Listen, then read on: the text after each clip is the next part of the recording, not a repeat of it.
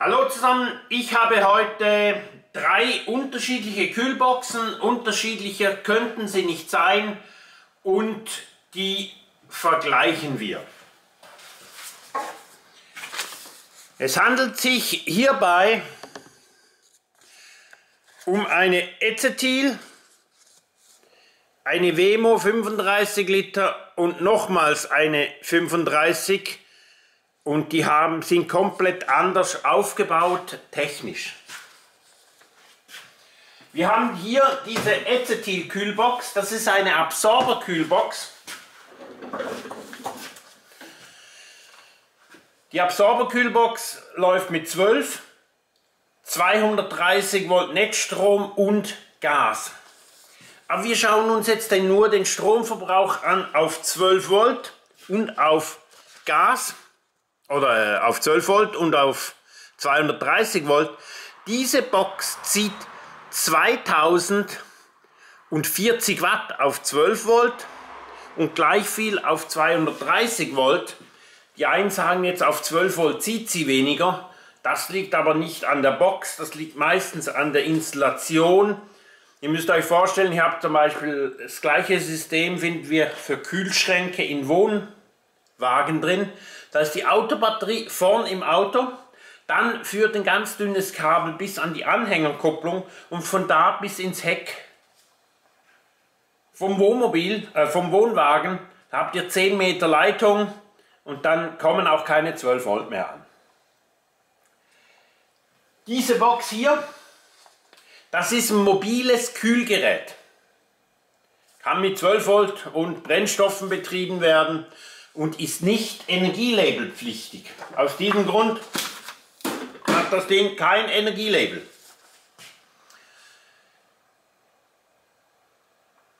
...2000 Watt,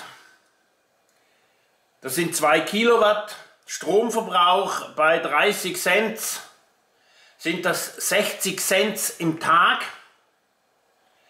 Das mal 365 Tage, ich habe es nicht so mit dem Rechnen, sind dann irgendwas um die 200 oder mehr als 200 Euro am Tag, die solch eine Kühlbox braucht. 200 Euro Stromverbrauch im Jahr ist schon heftig, aber diese Geräte werden von der Energielabelpflicht befreit. Ich will nichts mehr dazu sagen, aber es ist so. Und wenn sich jemand so eine Box äh, bei sich auf die Terrasse stellt, ohne einen Bastelraum, dann läuft die Box auch das ganze Jahr. Wir haben hier ein älteres Teil, eine Wemo 35, hinten die 35PX, das ist Nachfolgemodell. Die Box hat einen Stromverbrauch bei 12 Volt von 350 Watt und bei 230 Volt ein Stromverbrauch von 365 Watt. Und diese Box besitzt einen Gleichstrommotor, ein richtiger Gleichstrommotor. Ich stelle die Box auf die Seite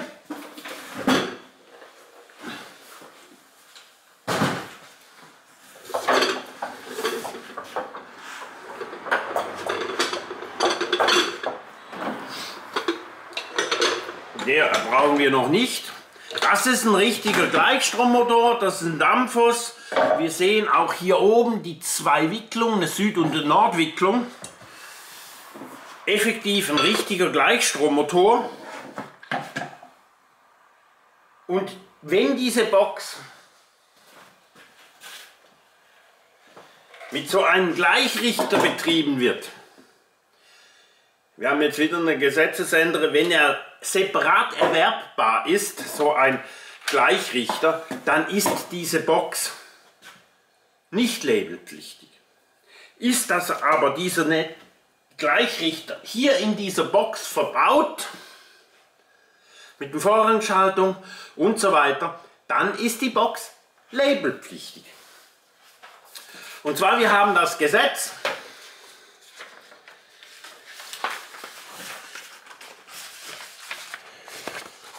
Der Artikel 1, das könnt ihr durchlesen, ist ausgenommen. Das bezieht sich jetzt auf diese Absorberkühlbox. Und Artikel 2, was ist definiert als mobiles Kühlgerät? Und glatt ist der unterste Satz. Ein Gerät, das mit einem Gleichrichter in Verkehr gebracht wird, ist kein mobiles Kühlgerät. Okay?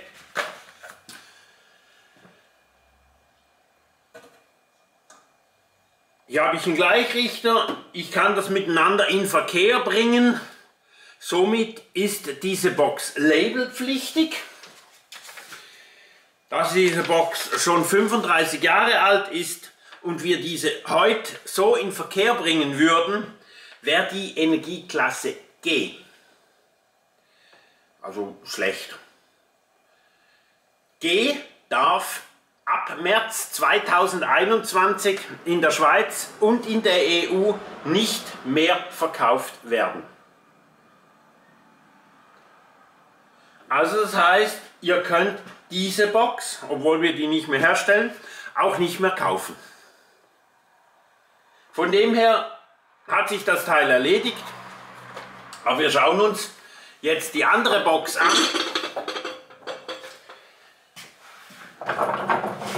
Das ist die Y35PX.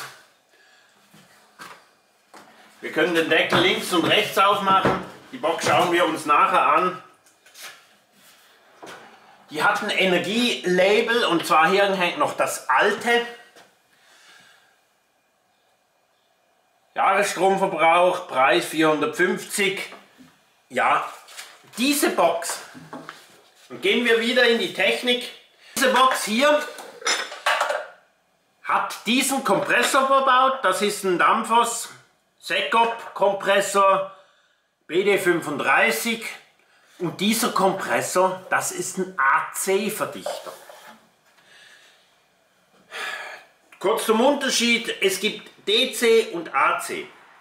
Im Gesetz drin steht ein Gerät, das mit einem Gleichrichter, das Wort ist im Deutschen, im Englischen steht AC-DC-Konverter. Auf Deutsch übersetzt wäre das eigentlich ein Wechselstrom-Gleichstromwandler und nicht Gleichrichter. Das ist deutsche Sprache.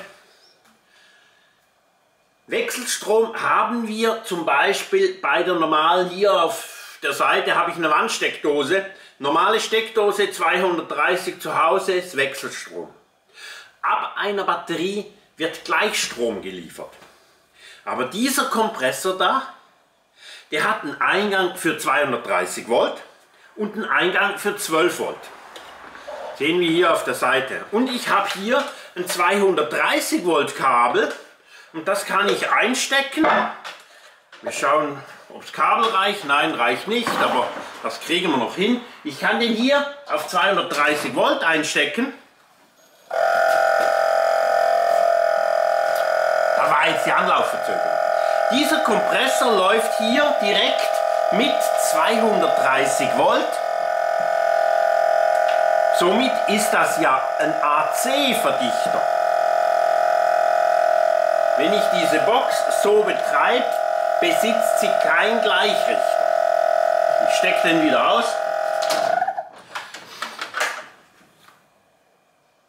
Somit ist diese Box, neues Label ersetzen durch das alte, nicht mehr labelpflichtig. Das heißt, diese Box läuft nicht mit dem Gleichrichter, sondern direkt mit dem AC-AC Konverter oder AC-AC oder Wechselstrom-Wechselstromwandler. Es besitzt also kein Gleichrichter oder AC-DC-Konverter. Ist zu viel AC-DC. Jetzt kommen natürlich Intelligente und sagen, ja, Moment, Moment, Moment. Hier komme ich rein mit 230 Volt 50 Hertz. 50 Hertz ist die Frequenz. Wenn ich die Frequenz erhöhe, dann läuft dieser Kompressor schneller. Wenn ich jetzt diesen Kompressor nochmals einstecke, da habe ich wieder die Einschaltverzögerung. Dieser Kompressor läuft auf 2000 Umdrehungen. Wenn er nicht will, will er nicht. In der Regel will er, aber anderes Thema.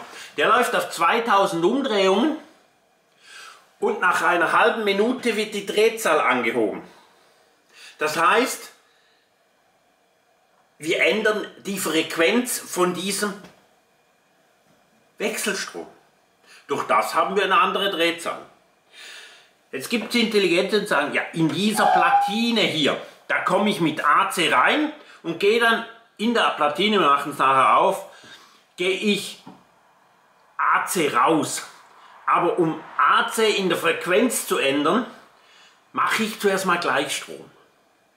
Das heißt, hier drin ist ein Gleichrichter bzw. ein AC-DC-Wandler und dann mache ich auf DC wieder AC. Für mich als Dummer heißt hier AC rein, innen wieder AC raus.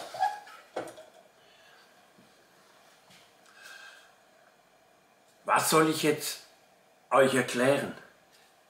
Wenn ich dieses Kästchen kann ich nicht aufmachen, doch ich kann. Aber die Platine, das ist eine vergossene Platine getaucht wasserdicht. Das ist AC rein, AC raus. Da ist kein AC-DC-Konverter drin. Oder Wechselstrom, Gleichstrom. Somit ist diese Box nicht labelpflichtig. Wir gehen hier nochmals zum Stromverbrauch. Diese Box braucht auf AC 209 Watt pro Tag, 24 Stunden bei 25 Grad in und 240 Watt bei 230 Volt. Der Kompressor läuft. Ich habe mir eingesteckt nach 3, 68 Sekunden probiert er immer wieder zu starten, wenn ich zu wenig Strom habe oder ähnliche Sachen. Wir sehen jetzt dann nach 30 Sekunden fängt er auch hoch zu drehen mit der Drehzahl, ihr hört's.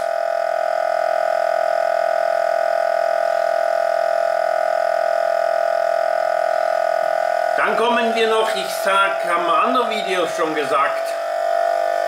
Jetzt kommt er. Ihr hört, die Drehzahl geht hoch. Der Kompressor läuft jetzt dann auf 3500 Umdrehungen und nicht mehr auf 2000. Das geht nur über die Frequenz, über den AC-Strom zu ändern. Ja, aus diesem Grund hier AC rein, AC raus. Das war's.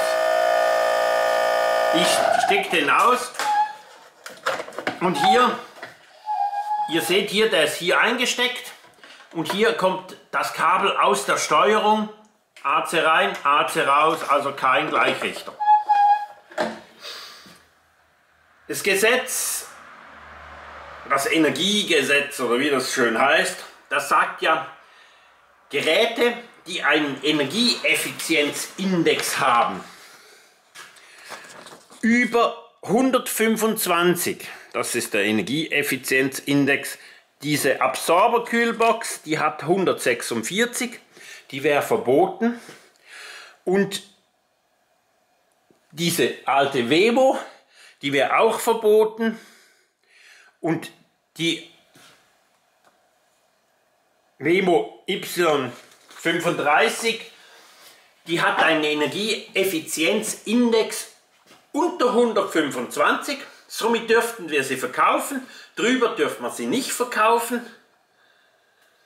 Also die Box, wenn die ein Energielabel hat von Ecetil, ist heute Dometic, dürfte man eigentlich gar nicht verkaufen. Die ist so extrem grottenschlecht.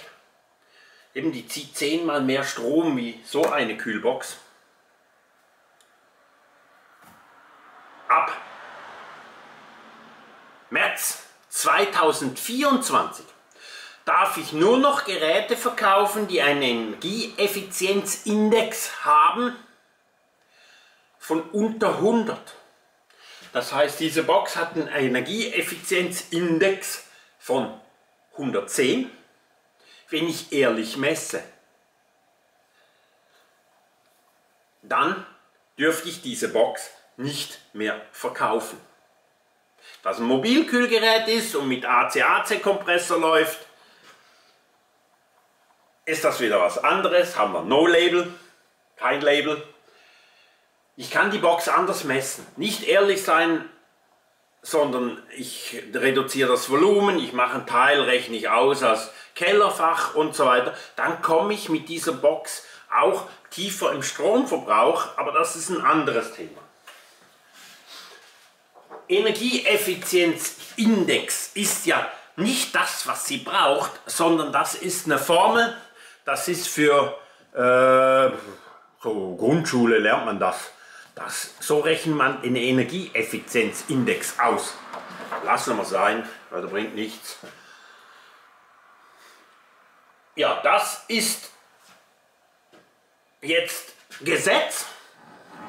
Ab März 2024 dürfte ich diese Box, wenn ich ehrlich bin, nicht mehr verkaufen.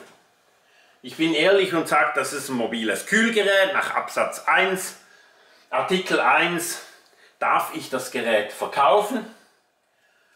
Es braucht zehnmal weniger Strom wie die Absorberkühlbox, die einen Energieverbrauch hat von 200 Euro im Jahr. Mehr kann ich zu dieser Box nicht sagen. Kompressorkühlgerät 12 Volt, 230 Volt, regulierbar bei minus 22 Grad. Jetzt kommt wieder das Gesetz. Wenn ich diese Box als Tiefkühlbox betreibe, habe ich ganz andere Energiewerte. Dann geht das auch wieder nicht. Ich kenne eine Firma, wo wir Ware beziehen, Liebherr, die macht so Tiefkühltruhen.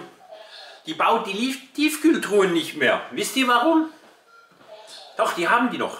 Aber im gewerblichen Sektor, weil da habe ich andere Energienormen. Das Gesetz ist...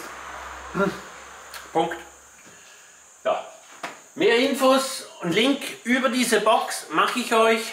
Ich mache euch ein Video über den Kompressor hier auf der Seite, über den alten Kompressor BD3 von Danfoss, den gibt es nicht mehr. Da mache ich euch einen Link in mein Museum. Könnt ihr über Google Street View, könnt ihr, mache ich unten, einen Link da könnt ihr bei uns im Laden vorbeischauen und unsere Produkte anschauen. Ich wünsche euch einen schönen Tag.